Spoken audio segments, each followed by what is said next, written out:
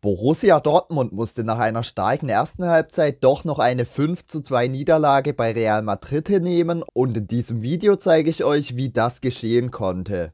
Hier haben wir direkt nach ein paar Sekunden mal eine Szene, da denkt man, okay, guter Pass von Schlotterbeck auf Brand, der bewegt sich da gut zwischen den Linien, aber es ist nicht so, dass Dortmund das wirklich gut gemacht hat. Das Pressing von Real war echt katastrophal. Mehr dazu dann gleich. Was man aber auch sieht, ist, dass Benzebaini nicht nach vorne in die letzte Linie geschoben ist. Da ist Gittens, der da immer isoliert wurde und die Breite besetzt hat, wird dann immer wieder angespielt. Real hat das aber, muss man sagen, auch ganz gut gekontert. Hat Rodrigo meistens etwas tiefer platziert. Somit hat er vorne immer wieder gefehlt, um Druck zu machen. Aber Gittens konnte man dadurch meistens recht gut in den Griff bekommen, wenn man mal tiefer stand. Das Problem war aber, wenn Real angelaufen ist, das war echt echt überhaupt nicht gut. Schauen wir aber erstmal strukturell auf die Dortmunder, denn da war es schon das zweite Mal der Fall, dass Shahin eine Halbzeitumstellung aus dem vorherigen Bundesligaspiel dann für das Champions League Spiel, das darauf folgt, beibehalten hat. Dieses Mal nämlich der flexible 3-2-4-1 Aufbau, wie wir ihn hier sehen, den man auch gegen St. Pauli in der zweiten Halbzeit dann gesehen hat. Benzebaini, der links etwas tiefer bleibt, rechts dann Sabitzer, der als Sechser agiert hat, aber immer wieder abgekippt ist auf die rechte Seite. Seite. Und vorne hattest du dann eine Fünferreihe, sieht man hier ganz gut. Aber wie gesagt, das Pressing von Real in der Anfangsphase war eins der schlechtesten Pressings, das ich jemals gesehen habe. Wir sehen hier, Schlotterbeck spielt einfach einen Matcher an, der wird nicht zugestellt. Die Realspieler stehen einfach da vor den Dortmund-Spielern, machen aber keinen Druck, stellen auch mit ihrem Deckungsschatten niemanden zu. Ein Matcher bekommt den Ball, kann dann aufdrehen, hat da massig Platz, weil auch die Sechser in dem Fall von Real nicht nach vorne verteidigen kann dann den Ball nach vorne treiben auf Julian Brandt, der sich gut löst, dementsprechend auch frei ist. Brandt bringt ihn dann raus auf Gittens, der außen isoliert war, in 1 gegen 1.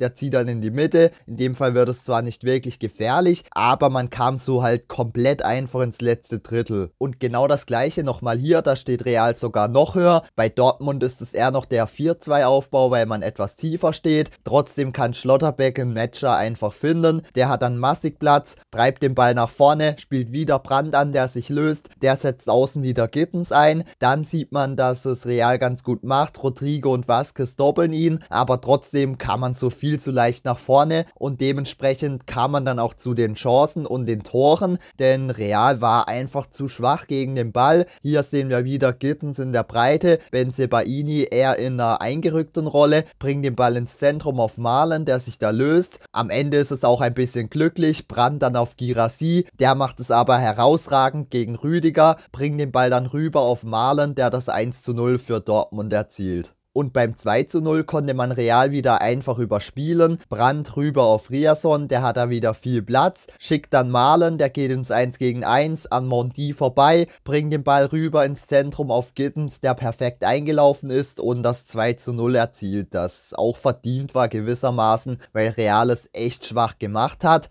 auch im eigenen Ballbesitz, da war das echt schwach, muss ich einfach sagen, in der ersten Halbzeit. Wir sehen hier das 4-3-3 und vor allem das Mittelfeld muss man an der Stelle kritisieren. Da kam ja gefühlt gar nichts, kein Entgegenkommen, niemand zwischen den Linien, keine Bewegung und deshalb haben sie dann fast jeden Ball in die Tiefe geschlagen für die drei Offensivspieler vorne. Also das Mittelfeld hat überhaupt nicht als Verbindungsstelle zwischen Abwehr und Offensive fungiert. Die wurden meistens einfach überspielt. Die Bälle vorne kamen dann hin und wieder auch an. Da hast du einfach die Qualität mit Vinny, mit Rodrigo, mit Mbappé. Wenn du die eingesetzt bekommst, dann wird es gefährlich, zwangsläufig. Da kann man dann auch nicht alles verteidigen, aber grundsätzlich war es gut, wie es der BVB zugestellt hat, in einem 4-2-3-1. Man hat sich da gut an das Mittelfeldtrio orientiert, auch wenn von denen extrem wenig kam und so blieb Real meistens nur dieser lange Ball in die Tiefe, den wir hier sehen. Militao schickt hier Vini Junior auf die Reise. Entscheidend ist hierbei aber auch die Abwehrhöhe des BVB. Man war meistens in einem Mittelfeldpressing, Angriffspressing eher selten, aber auch nur selten im Abwehrpressing, also ziemlich tief gestanden ist man fast nie in der ersten Halbzeit und wenn doch, dann wurde es eher mal gefährlich. Real ist aber auch real, die treffen die Anpassungen, die Spieler eigenständig oder auch Ancelotti Vini, um dann das Spiel zu optimieren. So hat sich Modric häufiger tiefer fallen lassen in die erste Aufbaulinie. Bellingham hat sich dann vorne eher zwischen den Linien bewegt, wird hier dann auch angespielt von Modric. Aber der BVB in der ersten Halbzeit hat es auch defensiv gut gemacht. Beide Sechser, Matcher und Sabitzer orientieren sich direkt auf Bellingham, machen Druck und erobern den Ball zurück. Aber wie gesagt, gegen Real kann man nicht alles verteidigen. Die haben enorme Qualität, selbst wenn du da den besten Defensivmatchplan hast. Hier haben wir eine Bellingham-Chance, aber auch die erfolgt eher nach einem langen Ball hier von Vinny auf ihn.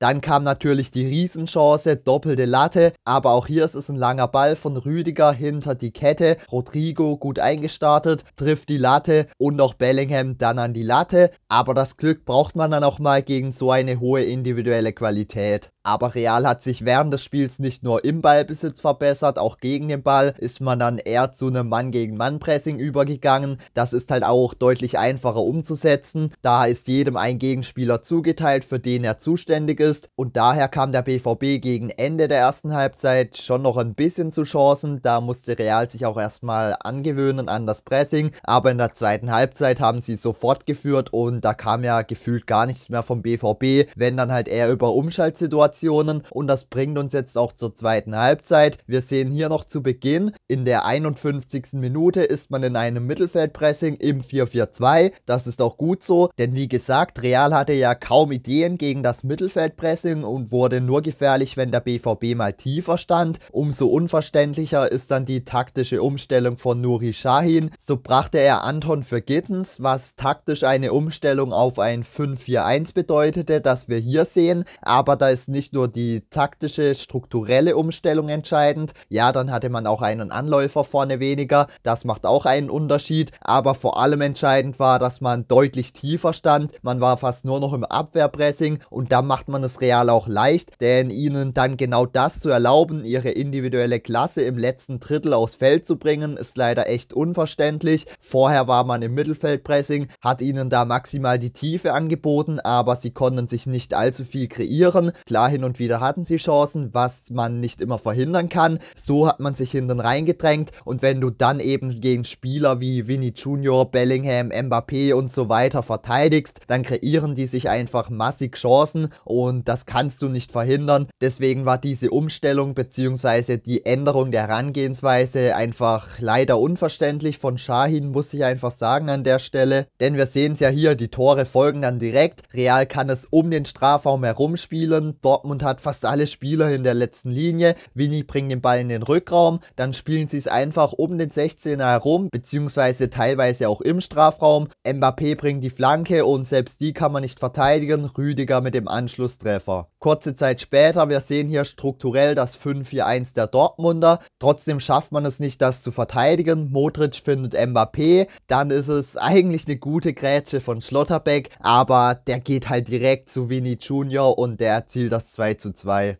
Dortmund konnte nach der Umstellung dann auch kaum für Entlastung sorgen. Wenn man da mal nach vorne kam, hat man es meistens eher schlecht ausgespielt. Hier Bayer nicht ganz zu Girassi, Benzebaini hinten kommt auch nicht dran. Und so hat man nach dem Ausgleich schon nochmal versucht, etwas mehr Druck auf den Ball zu bekommen. Stand nochmal etwas höher in einem 5-2-3, nicht mehr 5-4-1. Dadurch konnte man vorne mehr Druck ausüben, war dann aber in den Zwischenräumen deutlich anfälliger, weil halt eben diese Halbraumspieler weiter vorne standen aber ich bin ganz ehrlich, viele reden das Spiel jetzt extrem schwach und diese ganzen Umstellungen von Shahin, da nehme ich auch nachher im Fazit nochmal Stellung. Da fand ich ehrlich gesagt, ich habe es mir nochmal angeschaut, die Schlussphase echt nicht verkehrt von Dortmund. Man hat hierdurch wieder weniger zugelassen, ehrlich gesagt. Real hatte da wieder weniger Lösungen parat. Und vorne hatte man dann ja die Riesenchance, da ist es zwar nur eine Umschaltsituation. Chan macht es hier tatsächlich gut als Ringback, setzt da Brand ein, dann kommt der Ball zu Bayern nicht optimal, nimmt noch den Abschluss, Courtois hält dann. Das war die Riesenchance auf die erneute Führung. Allerdings ist es dann natürlich Real, die im Gegenzug antworten.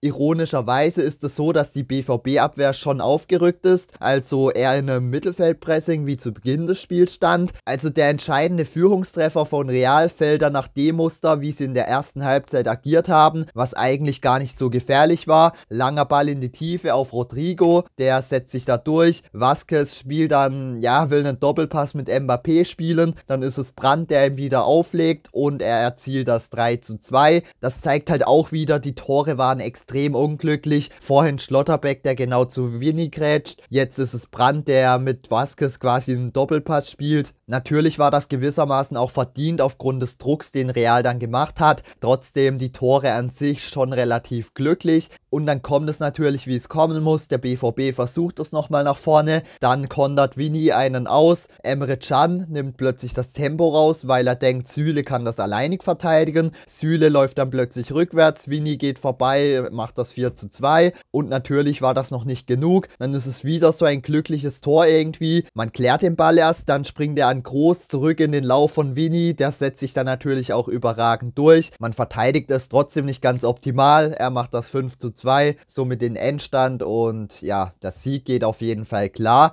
Jetzt muss man natürlich nochmal über die Anpassung von Shahin sprechen, denn die ist gerade in aller Munde. Ich persönlich bin ja eigentlich gar kein Fan davon, wenn sich die große Masse über taktische Umstellungen von Trainern äußert, beziehungsweise die kritisiert, weil die Trainer es meistens einfach besser wissen. Ich will mir mir das meistens auch gar nicht anmaßen. In dem Fall ist es halt leider ziemlich offensichtlich, dass Shahin hier einen Fehler begangen hat. Wie gesagt, ist die Ursache meiner Ansicht nach nicht unbedingt die Systemumstellung, gewissermaßen auch, aber vor allem, dass man dann deutlich tiefer stand. Das war dann einfach ein Problem und ja, gewissermaßen ein Fehler, den man sich eingestehen muss. Ich sagte aber auch ganz ehrlich, Shahin hatte ansonsten bis jetzt vor allem in der Bundesliga ein starkes Ingame-Coaching, hat da immer wieder gute Anpassungen vorgenommen. Jetzt Jetzt in dem Spiel war das natürlich schon sehr dumm, ehrlich gesagt, aber genau daraus wird er lernen. Er ist noch ein junger Trainer, genauso wie junge Spieler Fehler machen, macht er es auch als Trainer und wenn man den Weg mit ihm gemeinsam gehen will, dann muss man das auch gewissermaßen in Kauf nehmen.